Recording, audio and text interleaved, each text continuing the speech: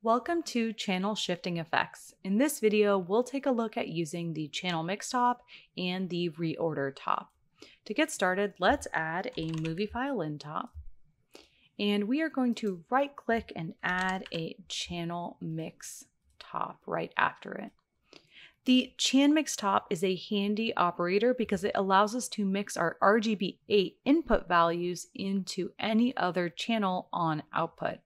So we can understand this Chan Mix parameter window by looking at each of these columns as R, G, B, and A. And so here we have our red values in our red channel, our green values in our green channel, our blue values in our blue channel, and so forth.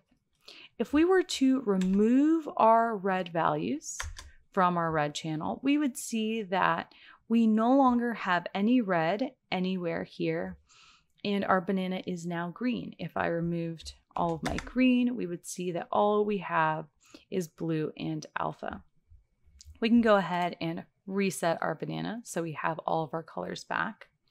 And let's go ahead and see how we can use this channel mix to create an RGB effect. So first up, let's go to our movie file in and let's change this to our count MOV. Great.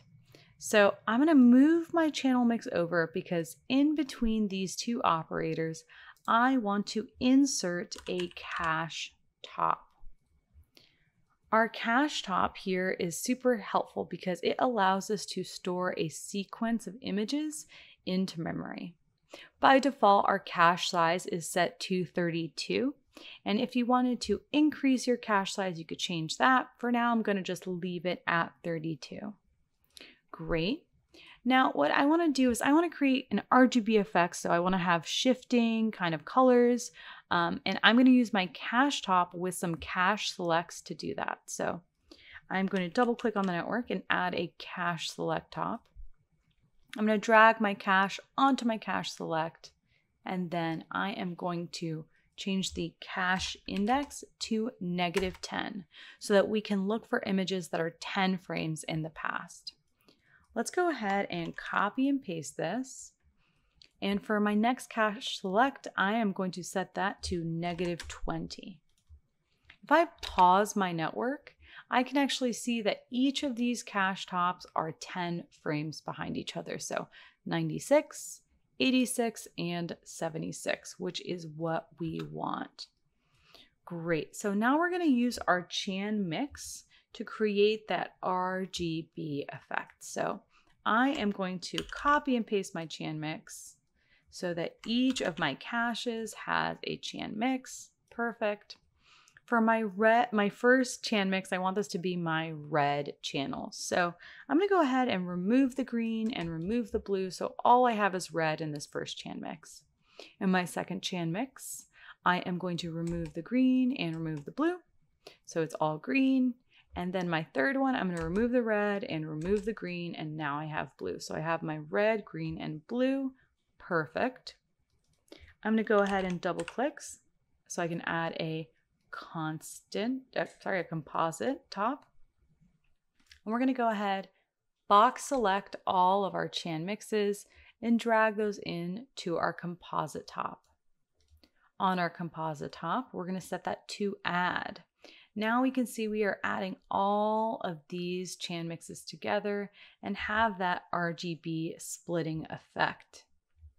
We could create a similar effect using a reorder top. So let's go ahead and see what that looks like. So I am going to box select my movie file in, my cache, and my cache selects.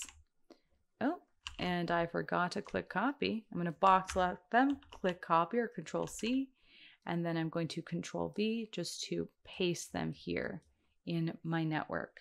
So this is the starting point for being able to use a reorder. But with a reorder, we can have less operators, which is always nice. So rather than having all of this going on here at the end with our Chan mix and our composite, we are just going to add our reorder. Our first cache is going to go into our first input. Our cache select will go into our second input, and then our final cache select will go into our third input.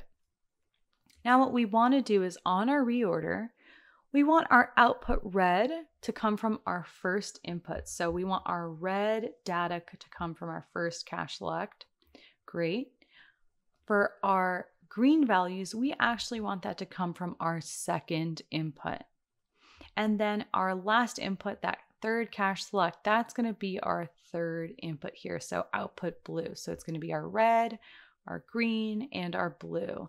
And now we can see we've created that same effect with just using a reorder. So we can achieve the same effect using these two operators. The only important thing to know and the difference between these two techniques is that the reorder top will pull whole channel values of data for its output. So you don't really have any fine grained control here like you do on the channel mix. On the channel mix, you're able to do partial values or float values. So here I could do 0.5. I could also manipulate this a little bit more to tweak how I wanted to mix my channels. And so there's a bit more control using channel mix. If you want to work quickly though, and you know you just want to move whole values for your output, you can definitely use a reorder. The last thing I want to show you here is back on our movie file in.